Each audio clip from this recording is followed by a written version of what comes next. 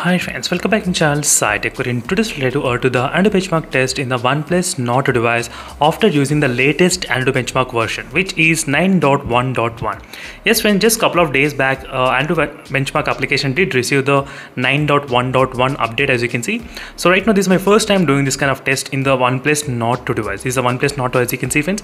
Let's see how much AnTuTu benchmark score we can actually expect in this OnePlus Nord 2 device. And during this uh, testing, I'll try to use the high performance mode. Let me to enable that high performance mode right now in the battery as you can see here. So the main reason why I'm trying to use high performance mode is that in the OnePlus Nord 2 you can actually achieve more score in the AnTuTu benchmark test only if you use the high performance mode in this OnePlus Nord 2. Yes, without using high performance mode you cannot get that kind of uh, high scores in this AnTuTu benchmark application. So that is the reason we need to use the high performance mode. Let me need to open the AnTuTu benchmark application right now. So I'll try to compare with the scores of right now versus previous scores. So in this way, we'll be able to figure out what is happening. Uh, let me slightly decrease the brightness to 50 percentage and all the background applicants are completely clean as you can see here and there is no Wi-Fi, there is no mobile data, nothing running at this moment. And let's start the test without wasting any time. And this is a new type of interface you will try to see as you can see in the latest Android version, which is 9.1.1. So right now the temperature is of close to 32.6 degrees and backside is of 32.2 degrees. As you can see friends clearly 32.31.4 not bad. And the front side is 32.6 degrees. As you can see clearly so again I'll be back after a certain amount of time then we can actually discuss what is happening with the score in the OnePlus Nord 2 device. So this is a request which has been asked by a few of my subscribers asking me to make a video because I did upload on other phones as well iQOO 7 and the Realme X1 Max and few of the OnePlus Nord 2 users they did ask this video on this particular phone. So that is the reason I thought of making a video on this device. So again, I'll be back after a certain amount of time. Then we can actually check what is happening with the temperatures in this OnePlus Nord 2 device.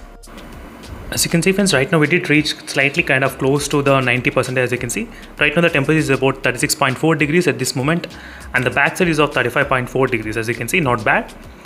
So the temperatures did not increase above 37 degrees. It was below 37 degrees only during this pro process of demonstration.